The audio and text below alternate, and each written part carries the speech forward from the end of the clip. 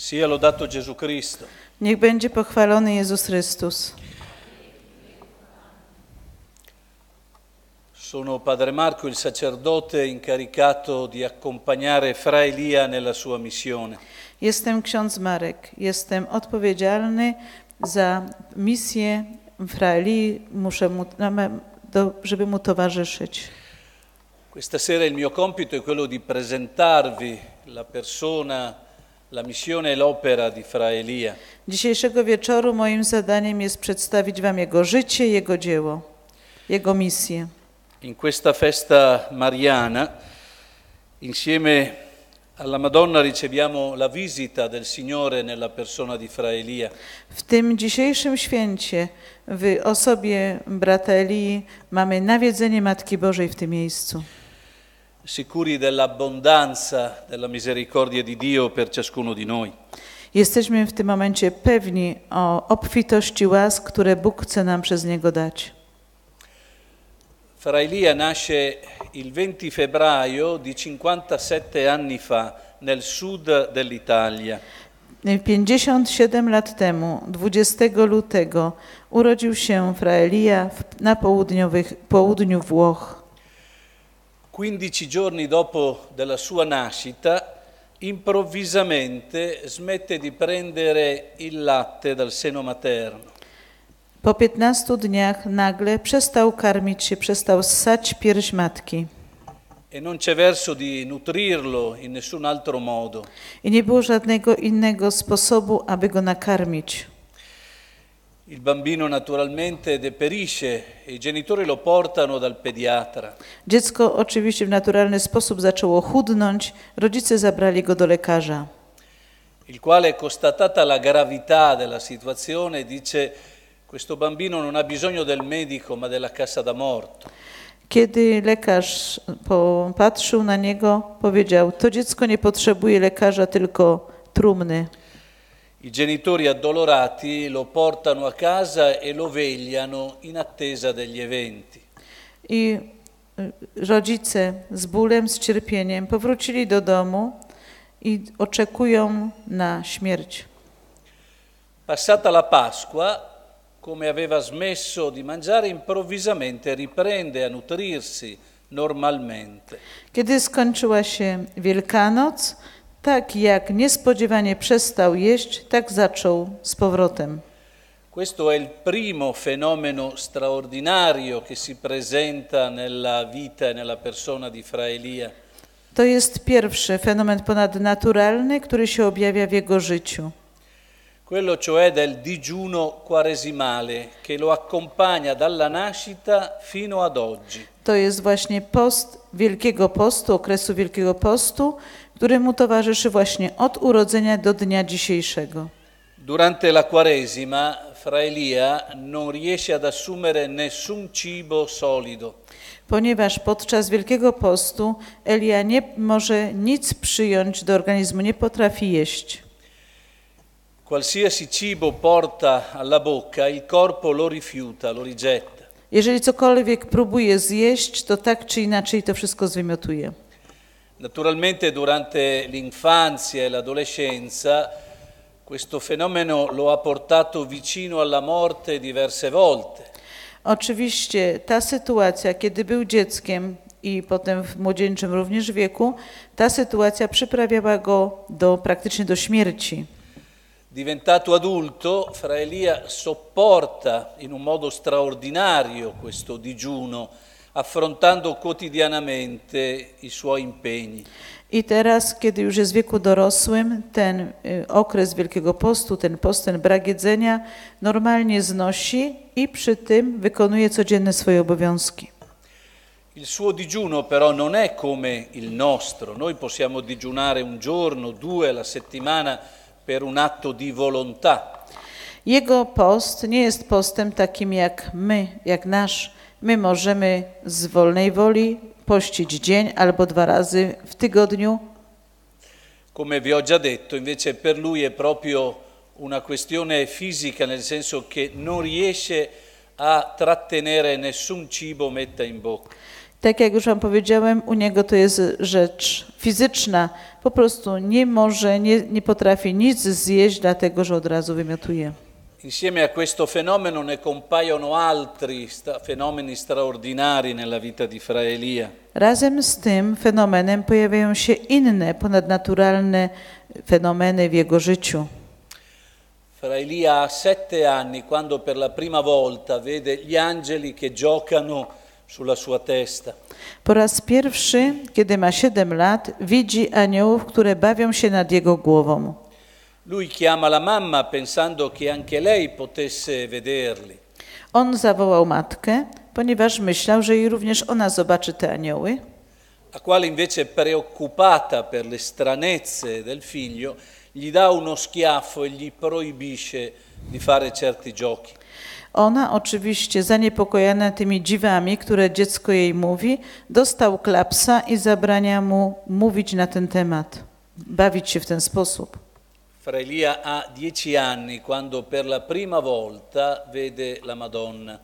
A kiedy ma 10 lat, po raz pierwszy widzi Matkę Bożą. Dopo la scuola sta giocando in strada con i compagni, con gli amici. I wracając ze szkoły, po zajęciach, bawi się razem z innymi dziećmi na ulicy, Quando vede avvicinarsi una signora che li invita ad andare in chiesa a pregare il rosario. kiedy zobaczył pewną kobietę, która się przybliżała i prosiła go, aby poszli do kościoła modlić się.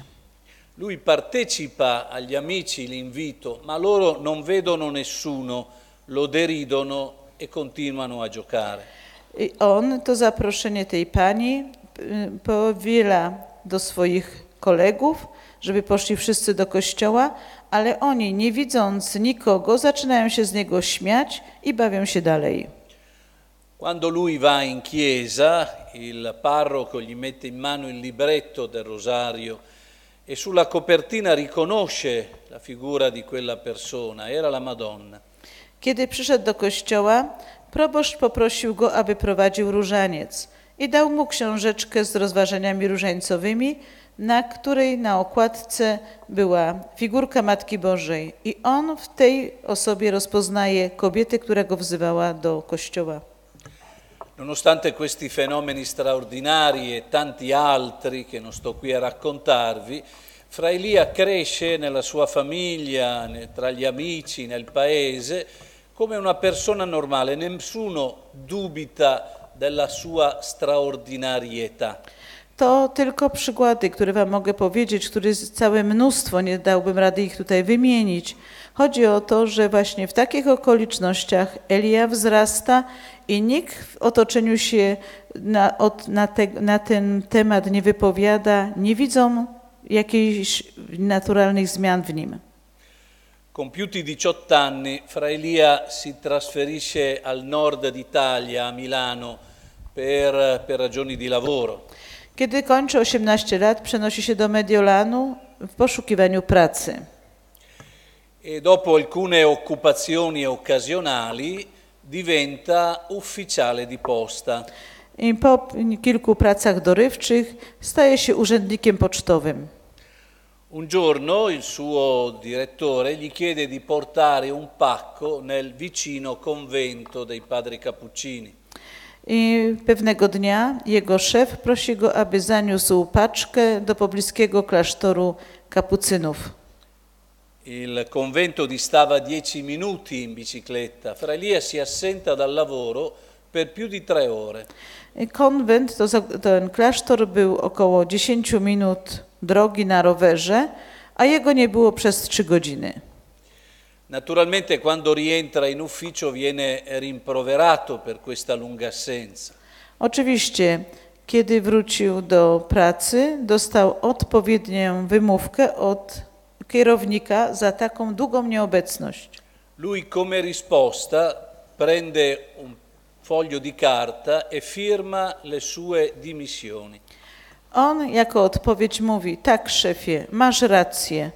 Wziął kartkę papieru i napisał swoje zwolnienie z pracy. Quando era entrato nel convento dei padri Cappuccini, Fra Elia aveva sentito che il Signore lo voleva lì, quello era il luogo dove lui doveva vivere. Bo kiedy wszedł do tego klasztoru Franciszkanów, zrozumiał, że to jest miejsce, w którym Bóg go chce widzieć, że to jest jego miejsce. E qui comincia uno dei periodi più importanti della vita di Fra Elia. I tutaj zaczyna się jeden z najważniejszych okresów w jego życiu. Arriviamo a una data particolare, il 2 febbraio 1990. W ten sposób dochodzimy do szczególnej daty 2 lutego 90 roku. Fra Elia è a scuola, insieme ai suoi compagni di noviziato, quando improvvisamente comincia a sanguinare dalla testa, dai polsi e dai piedi. Znajdują się na zajęciach z liturgiki razem z innymi kolegami, seminarzystami z nowicjatu, kiedy nagle zaczyna krwawić z czoła, z rąk i z nóg. I padri cappuccini, pensando a un problema di salute, lo portano al pronto soccorso. Zaniepokojeni ojcowie, myśląc, że to jest jakiś problem zdrowotny, zawieźli go na pogotowie, Ma i medici non sanno dare una risposta a quelle ferite, non c'è trauma, i valori vitali sono nella norma e quindi non sanno dare una spiegazione. Lekarze, którzy przeprowadzili wszystkie badania, doszli do wniosku, że nie, dadzą, nie mają odpowiedzi na to pytanie, co się z nim stało, gdyż wszystko wychodziło bardzo dobre. Sarà il frate infermiere quando Fra Elia ritorna in convento a rivelargli il significato di quelle ferite. Kiedy przywieźli go z powrotem do klasztoru, do dopiero brat z infermierii wytłumaczył mu, na czym to polega, o co chodzi. Caro fratello, queste sono le stigmate. Questo è un dono di Dio che devi accettare. Mówi mu, drogi bracie, to są stygmaty, to jest dar, łaska Boga, którą musisz przyjąć. La reazione di Fra Elia invece è di totale rifiuto e ribellione. Ale reakcja Eli jest dokładnie odwrotna. Jest to całkowite zbuntowanie i odrzucenie tego daru. Si sentiva privato della sua libertà, della sua indipendenza, Oczywiście poczuł się zagrożony w swojej wolności. sentiva gli occhi di tutti puntati su di lui come se fosse una bestia rara. Odczuwał na sobie wzrok skierowanych wszystkich ludzi, tak jak był jakimś okazem, zwierzęciem okazjonalnym. Entrava in chiesa, apriva il tabernacolo e gridava a Gesù nell'Eucarestia, toglimele, toglimele. Przychodził do kościoła, otwierał tabernakulum i krzyczał do Pana Jezusa: Zabierz mi to, zabierz mi to. Al colmo della disperazione, per risolvere il problema, Fra Elia decide di togliersi la vita. W takim stanie desperacji postanowił popełnić samobójstwo. Chiede, senza rivelare i suoi progetti, chiede ai superiori di potersi ritirare per alcuni giorni di preghiera in un santuario costruito su uno sperone di roccia nel nord dell'Italia. Nie mówiąc nic nikomu o swoich zamiarach, poprosił przełożonych, aby mógł do innego klasztoru Franciszka, y, kapucynów udać się na modlitwę. Ten klasztor był zbudowany na urwisku, na skale. Fra Elia va a confessarsi e dice al padre confessore, se non torno per il pranzo, non cercatemi. Poszedł do spowiedzi i na koniec mówi ojcu: Jak nie wrócę na obiad, to mnie nie szukajcie. Esce dalla chiesa, il sagrato è completamente deserto e prende la rincorsa per buttarsi nel vuoto.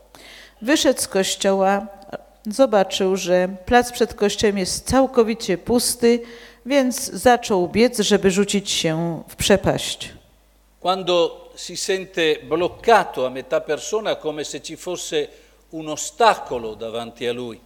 Wtedy poczuł podczas tego biegu, że coś go zablokowało na wysokości brzucha, bioder, tak jakby taka bariera z żelaza. e sente qualcuno che gli dà uno schiaffo così violento che lo fa rotolare indietro di parecchi metri. I czuje, że ktoś go tak potężnie uderzył, że do tyłu przekoziołkował kilka metrów. Fra Elia si ritrova ai piedi della statua della pietà che si trova appunto davanti al santuario. I wtedy zobaczył, podnosząc głowę, że upadł pod figurką Matki Bożej, która trzyma na ręku ciało Pana Jezusa zdjęte z krzyża, tak zwaną pietę. Fra Elia si alza, guarda in viso la Madonna, entra in chiesa davanti al tabernacolo e pronuncia il suo sì, sia fatta la tua volontà, Signore. Wtedy patrzy na wzrok Matki Bożej na tej figurze, podnosi się, idzie do kościoła, staje przed Panem Jezusem w Najświętszym Sakramencie i mówi: Tak, Panie, niech się dzieje Twoja wola. Fra Elia però non sa che cosa lo aspetta e nemmeno sa che cosa Dio voglia da lui. Oczywiście, wypowiadając wtedy tą swoją gotowość służby dla Boga, nie wie, co go czeka i nie wie, jakie są plany Boże dla jego życia.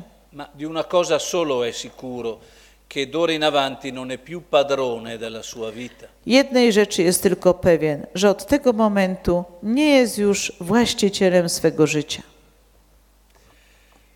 Oltre alle stigmate compaiono nella vita di Fra Elia altri fenomeni straordinari. Oprócz stygmatów w jego życiu wy, występują inne ponadnaturalne fenomeny. Pochi giorni prima del, del giorno delle stigmate, pochi giorni prima del 2 febbraio, Fra Elia aveva incontrato nella chiesa del convento Padre Pio. Przed otrzymaniem stygmatów, kilka y, dni wcześniej, spotkał się z ojcem Pio. Padre Pio nel 1990 era già morto da oltre vent'anni, ma lui lo vedeva come io vedo voi e voi vedete me. Nie byłoby w tym nic strasznego, gdyby nie fakt, że ojciec Pio już nie żył od ponad 20 lat. Padre Pio gli aveva raccomandato durante la Quaresima di non rimanere mai da solo se non nella sua stanza. On wtedy usłyszał od ojca, żeby nigdy nie przebywał sam w czasie Wielkiego Postu, chyba że w swojej własnej celi. Ma Fra Elia non aveva capito il significato di questa raccomandazione. On nie zrozumiał znaczenia tego polecenia ojca Pio. In quel periodo Fra Elia era il sagrestano del convento On w tamtym czasie był zakrystianinem w klasztorze e avvicinandosi la Pasqua aveva deciso di fare una pulizia della chiesa. i kiedy zbliżała się Wielkanoc, postanowił, że wysprząta super kościół.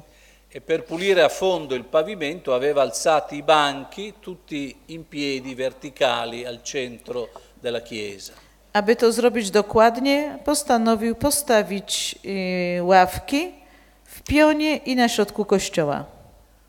Mentre sta lavorando, improvvisamente i banchi gli cadono addosso uno dopo l'altro come un domino.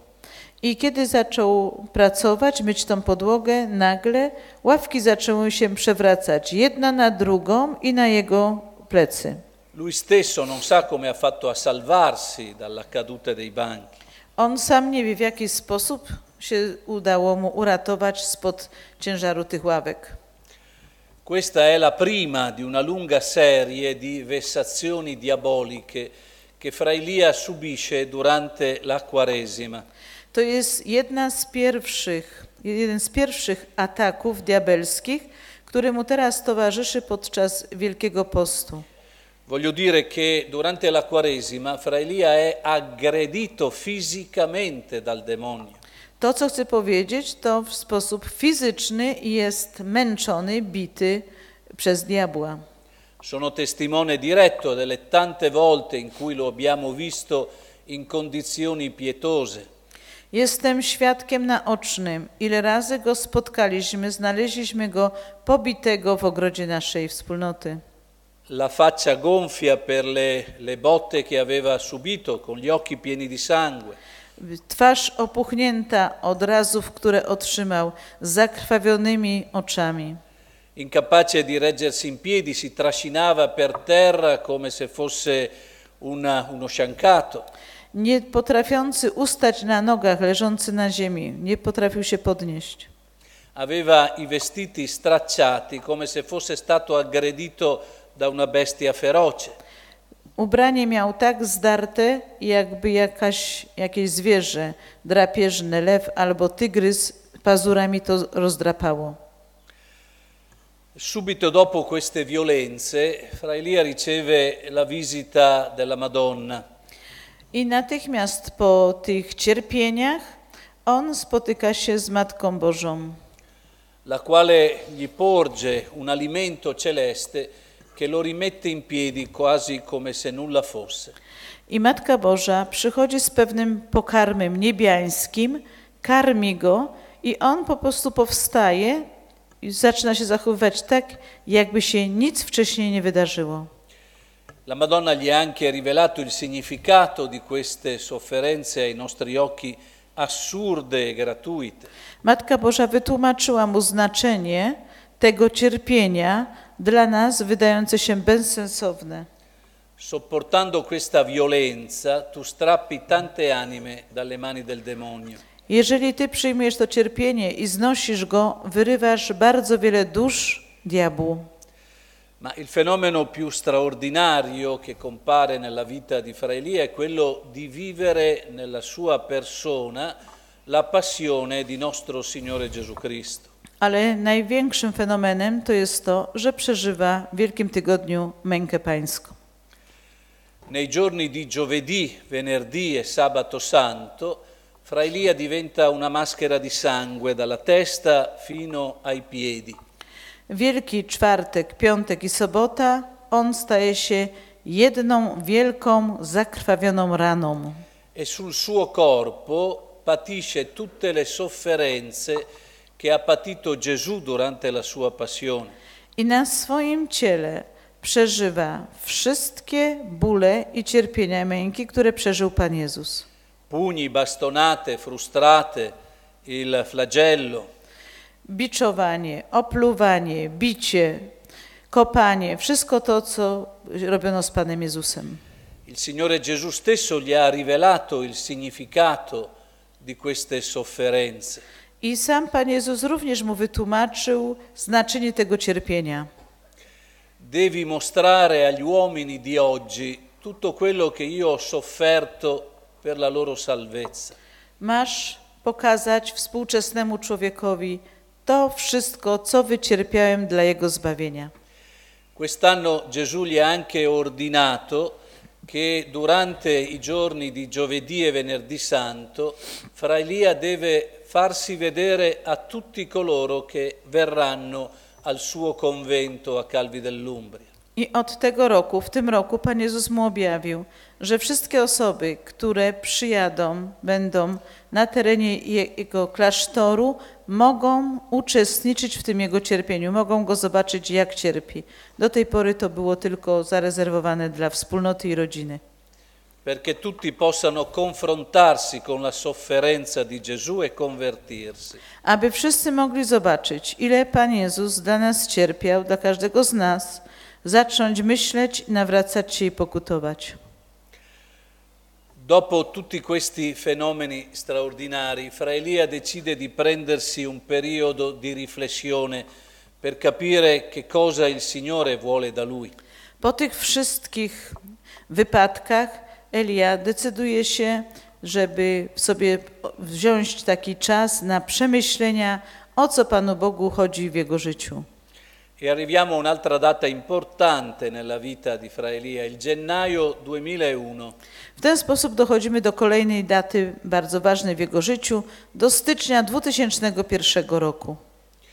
Quando Giovanni Paolo II chiude il grande giubileo del 2000, dà alla Chiesa un mandato speciale, duc in altum, prendete il largo. Kiedy papież nasz Jan Paweł II zamyka rok jubileuszowy w styczniu 2001 roku, daje Kościołowi specjalne zadanie: wypłyń na głębie. Fra Elia capisce che è il momento di uscire allo scoperto, di mettersi in gioco, di iniziare la sua missione di evangelizzazione. Elia zrozumiał wtedy, że to jest czas, kiedy powinien wyjść z ukrycia i rozpocząć służbę tym, co otrzymał. Aiutato dagli amici che lo circondano, comincia a incontrare le persone e a mettere a loro disposizione tutti i doni che Dio gli ha donato. Otoczony swoimi przyjaciółmi, wolontariuszami, rozpoczyna spotkania z osobami, które potrzebują pomocy potrzebują pomocy duchowej i on tymi wszystkimi darami, którymi został obdarzony, służy.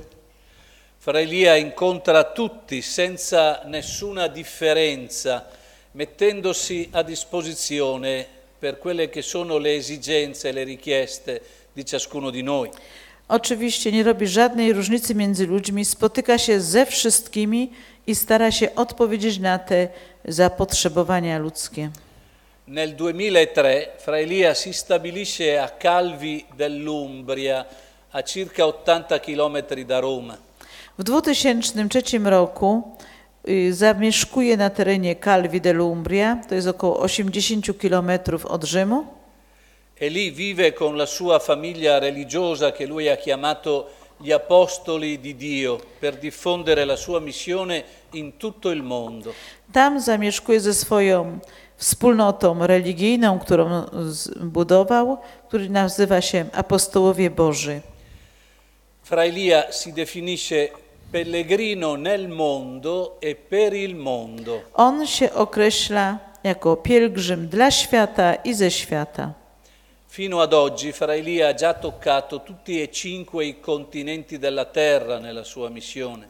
Do tej pory już do tej pory już był na wszystkich kontynentach świata. Quando ha incontrato Padre Pio, Padre Pio gli ha detto tu sei l'asino di Dio. Kiedy spotkał się z ojcem Pio, ojciec Pio powiedział mu: Ty będziesz osłem Bożym. Nella, tu sei l'ignoranza di Dio per sfidare la superbia che gli uomini oggi hanno nei suoi confronti. Ty będziesz zadziwiał swoją prostotą i brakiem jakiegośkolwiek wykształcenia wielkich i możnych tego świata. Fra Elia infatti non ha nessuna laurea, nessun dottorato, nessun particolare titolo di studio. On nie ma żadnego szczególnego tytułu studiów, nie, jest, nie, nie ma tytułów naukowych, w ogóle nie ma wykształcenia wyższego. ma nella sua semplicità e con i suoi modi molto diretti, ecco, si mette a disposizione per aiutare chiunque egli incontra. A swoją prostotą pragnie po- pomagać wszystkim, którzy się do niego zwracają. Anche stasera siamo, siamo molto numerosi e capisco che magari tutti vorrebbero parlare con lui, incontrarlo. No, dzisiaj Was widzę, że jest Was bardzo wielu dzisiejszego wieczoru i myślę, jestem tego pewien, że każdy by chciał z nim osobiście porozmawiać. Ma misteriosamente la sua intercessione arriva anche all'ultimo più lontano dall'altare. Ale jest to w sumie normalnie niemożliwe, ale w tajemniczy sposób jego obecność dochodzi do tego, kto jest na samym końcu tego zgromadzenia, tam pod murem albo na, nawet za. E lui ci tiene a dire che io prego, i miracoli li fa il Signore. I to, co on cały czas mówi, ja się modlę, a cuda czyni Pan Bóg. La missione di Fra Elia è quello di essere quindi testimone di fede in mezzo a noi. Jego misja jest ta, aby po prostu być świadkiem wiary pomiędzy nami. quello di accendere nel cuore di ciascuno di noi la luce della fede. To, co jest jego zadaniem, aby w sercu każdego z nas wzbudzić płomień nadziei i wiary. E insieme con lui ringraziamo il Signore per le cose meravigliose che fa nella sua vita e nella nostra vita. I razem z nim będziemy dziękować Bogu za te cuda, które robi w jego życiu. Grazie per la vostra presenza e per la vostra attenzione.